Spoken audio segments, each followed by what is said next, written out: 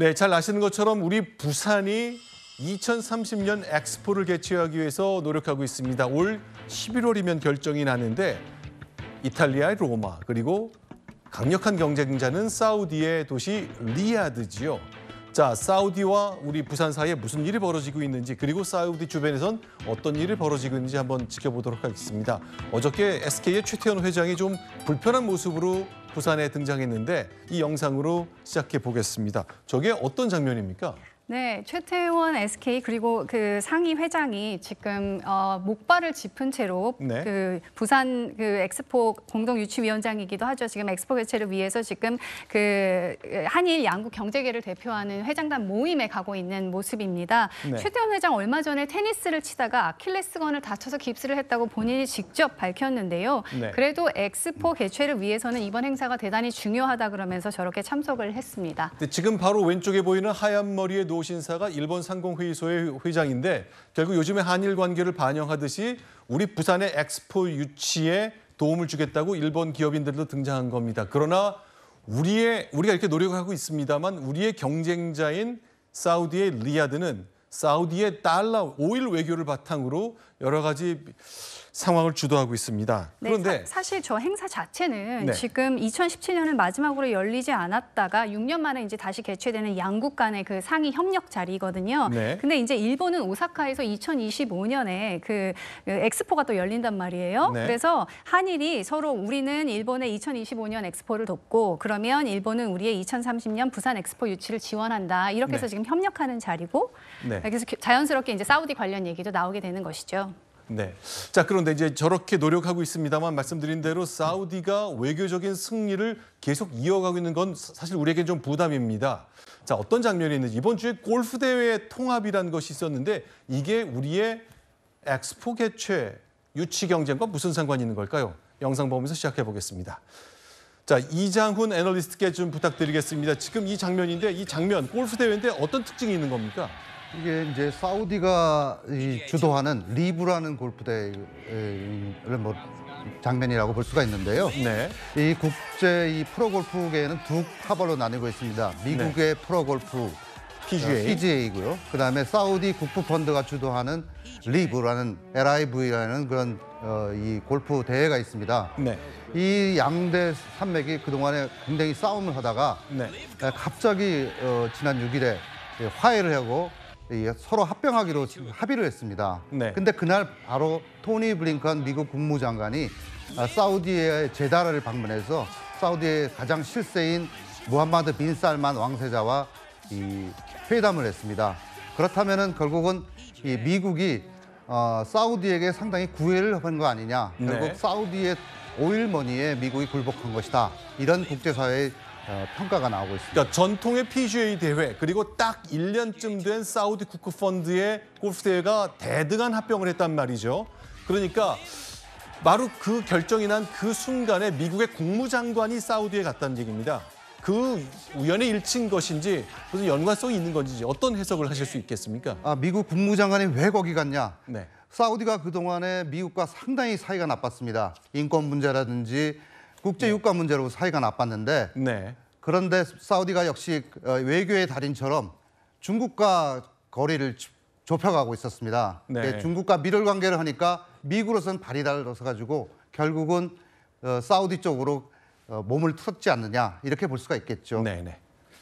리브는 작년에 생겼고 네. PGA는 1916년 100년 이상 차이 나는데 그렇죠. 사실상 사우디 오일머니로 세계 골프계를 합병했다고 봐야 됩니다. 네. 여기에 보태가지고 유로피언 투어와 DP 투어까지 합병을 해서 네. 상당히 미국의 전통적인 골퍼들은 어, 반대하고 있는 입장이지만 하여튼 주도권을 갖고 갔고요. 네. 중 그런 그런 와중에 또 미국도 저러고 있지만 중국은 최근에 네. 작년에 사우디 그 엑스포를 프랑스에서도 지지선을 했고 네. 중국도 지지선을 했습니다. 네. 거기에 또 중국은 네. 또 최근에 이란하고 사이가 안 좋은 사우디를 중재를 해서 네. 7년 만에 외교 분쟁도 이렇게 해소하는 그런 노력을 하고 있고 그래서 상당히 지금 엑스포가 부산보다는 일본만 지금 우리 우리나라를 돕고 있고 네. 세계적으로는 좀 세계적인 분위기는